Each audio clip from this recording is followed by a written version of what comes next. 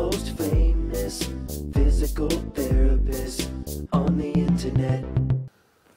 Howdy, folks. I'm Bob Schrupp, physical therapist. Brad Heineck, physical therapist. Together, we are the most famous physical therapists on the internet. In our opinion, of course, Bob. Lonnie's having trouble with the timer. All right, today, Say Brad, no we're going to talk about the top 10 cervical herniation disc exercises. Right. And stretches, maybe we could Right, say. right, Um, and this is kind of a progression.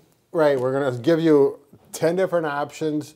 You're going to work with them. If it doesn't show immediate relief or after two or three repetitions, you should stop. You know, if it seems like it's making it worse or hurting, go to the next one. Yeah, the key to these, Brad, is that, isn't it, that you have to find the movement that's going to take away your pain. Right. Make it, you know, stop going down the arm or whatever. If you got a neck problem, it goes into the shoulder. A lot of times it'll go into the to this neck will refer to the shoulder blade area and then progress down into the arm. So it can go all the way into the hand. right, all the way down. So depending, you may have it to the hand or just to the shoulder. And I have people come in with shoulder pain and find out it's from their neck. Uh, we're not getting into that too Right. much. Ideally, we're to, you want to start getting that pain to go out of the hand first, or, or, or forearm first, or up here first. Exactly. And start going up into here, and maybe even feel a little more intense up here, right. and then eventually go away. So we're going to refer to that as centralizing. If we say centralizing, that means it's going up to the neck where it Yes. belongs, the center. All right, so we're looking at a herniated disc in the neck. And so if we can look at the, the, the neck, there's just simply seven vertebrae up there. right.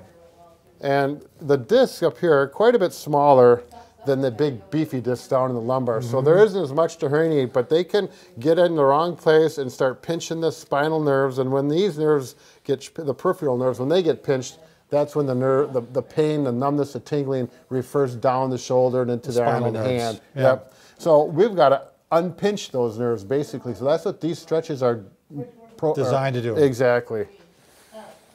All right. Let's start off with the first one, huh, Brad? Yep, this is kind of the go-to.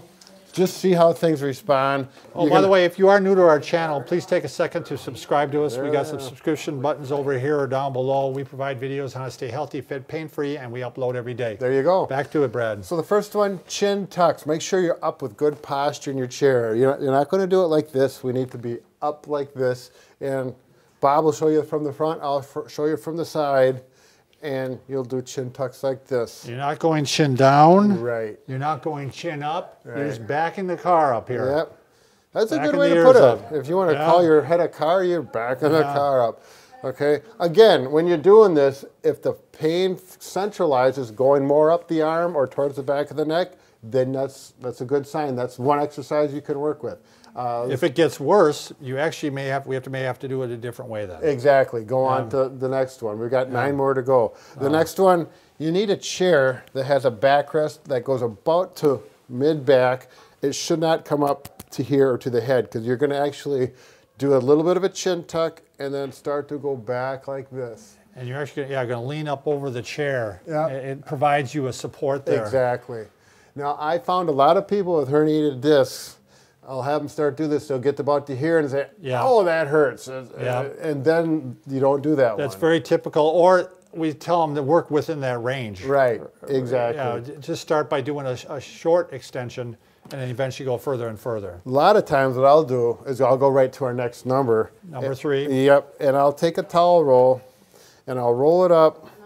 If they're if the person's really tender and they don't have much movement, I'll get a thicker towel roll, and they're more comfortable. And I'll say, do this. Don't pull real hard, but just snug. Give your neck some support. yeah, and then, oh yeah, that feels better, and you go back farther. And with repetition, by the third or fourth one, oh, that's going better yet. And if, if that's the situation, you know you're you're right on. This is something you want, want to do with a tie on, by the way. You Yeah. want to have a nice loose collar. to- to Exactly. Take these ties off and open up your collar. Do it with a t-shirt on works great. Right. You know. Right. Um, so as you get more range of motion, you get thinner, and and I'll, Bob will do it oftentimes. Right. You probably go right away with what's the name of the edge of the towel, Bob? Uh, shelfage. the shelfage of the Or towel. selfage. But you take the towel, and I like that also because you can get more specific. Right. The problem that It tends to catch on the shoulders. on the shoulders, yeah, so you got to lift it up off the Yep. shoulders. It's kind of nice to have a second person. Yeah. And I'm going to go, it's usually low in the neck, because that's usually where a lot of the, the herniations are, C6, 5, 6.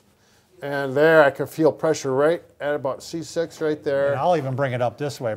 Brad. Oh. And, and it goes along with the. right. yeah. So I'll do it this way. I'll do it this way too if it works.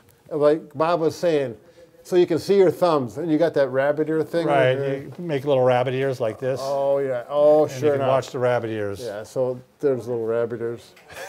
I like that. The other thing, Brad, that I often do, mm. like let's say the, the pain is going down this arm. Sure. I'll have them just grab at the right arm then. Right, because that. it, it, that just bothers it. Yeah. too. yeah. Good. Good point. So, if you have bad shoulders and that's not possible, eh, that you just cannot do that. Right. And that as a therapist, I'll do it for them. sure. You know, yep, if- if I've their done that too. shoulders- yep. Yeah, if you have Okay. bad shoulders. You know, at, at this point, Brad, we might want to say too, if, if it just seems like we you can't get into extension and it's not helping, it's not making the pain get better. Mm-hmm. Right. Sometimes we do have you bend to the side Sure. of the pain. You bet. So as we face you here, let's say the pain is going down this arm. So you first do a chin tuck, again a couple chin tucks, and then now you're going to put your try to put your right ear down onto your shoulder. And this has been one that I'll tell you, this is the one that helps me, Mm-hmm. and this is the one I had a dentist um, who you know was always bent one way, Right, And and he found out this is the one that took it. It took it right out of the hand, out of the arm, Right. And he started feeling it more up here, and eventually it went away. Right. So chin tuck to the right side bend, maybe a chin tuck left side bend, whichever one starts to take the pain away. Right. Usually, if it's key. the right arm, you're going to go to the right. Yeah, but not exactly. always. Almost most cases. Sure. Yeah. Um, the one thing I want to make very clear is do not force these. You're going to do these exercises gently. You can repeat them, and if things aren't getting better within you know four to five repetitions, it's not the right thing. Yeah. Don't think that if I pull harder, if I do something harder and force through it, it's going to pop and let go, because that's not the case. No, it's this takes a while, and you might have to do this for a couple days before you see him benefit right, sometimes. Right.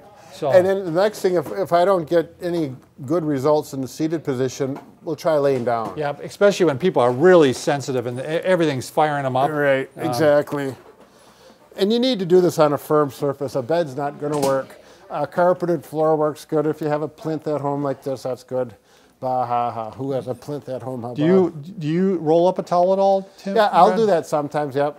But you know, if if they're comfortable laying like this, and, and then I'll ask them, where is the symptoms in their arm? Oh, my fingers are still tingling. Then I'll have them start to do some chin tucks like this. So I'm trying to touch. I say, touch the back of your neck with this part of your head touching, right there. Push that down as your Glasses chin are tuck. kind of in the way there, Brad. Oh, yeah. Oh, those are my magnetic cheaters, Bob. Yeah. Okay. But sometimes what we were talking about, sometimes I have I put a towel Yep, like that too and have them do chin tucks that way too. Yep, and that actually gives you a little more range of motion. easier, yeah. And if you do this, and all of a sudden your hand, the tinkling and numbness starts leaving your hand, boy, you are gold because things are in the right way I, to go. I often even put this arm just to get it in a little better position, Brad. I'll put it under sure. a pillow like that. Yep, good. So, All right. all right. Now, if that's not working, We're giving you lots of options here. this is another option. Actually, as a therapist, I go to a different option, but that's not an option if you're by yourself. Where's that towel roll? Yep.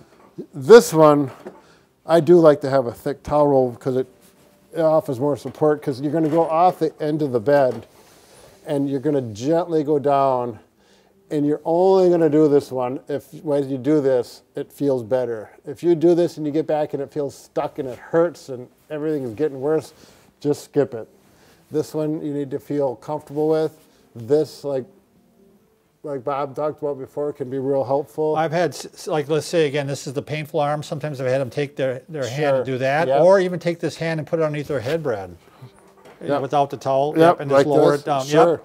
That's one lady I had that this is the one that would work for her. okay great She she could work it that way. okay Then you're into the pr- uh, prone position. You Right. Yeah. This is the watching TV position because I, I know when I was a kid, this is how I used to watch TV back in the old days. Not anymore. Back, so you back want to when they get had TV repairmen. yeah neck extension like this. So if you just take your, you can take your thumbs like this right under your chin and go like this.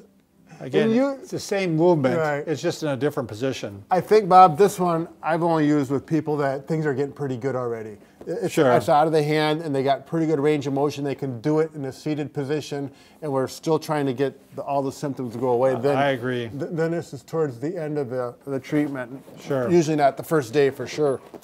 Um, So if you get stuck, you might try traction. Is that what you're saying, Brad? Exactly, Bob. And um, we're just going to show you two examples of traction. Uh, one is very inexpensive, and it's called the over the door.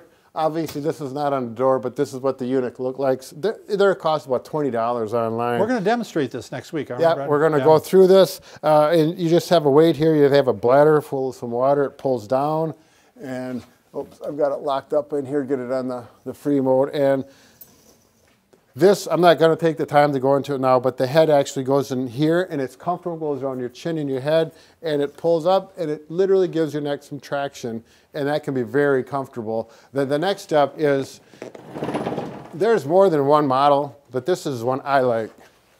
While he leaves the camera, I'll just do a little song and dance. But this is the Saunders home Yeah, unit. these are nice. These are really nice. I uh, and the the price is not too bad if if, if they work and they they It's have you avoid a surgery. Yeah. It's worth the three or four hundred dollars to buy one of these. And again, we're going to do a, a, a video on both of these units for some detail because it, it's going to take me you know at least five or ten minutes between each one to show you how to use these. But they're two good options, and plus that gets us to ten. Right. We, we hit 10. All right. Once, remember, ag- once again, Brad, Bob. we're not just pretty. Yeah, we're pretty ugly. But No, look we're at this. pretty Bob. helpful. Oh yeah, that's So- right. Yeah, we're helping everyone. So, all right. Thanks for watching.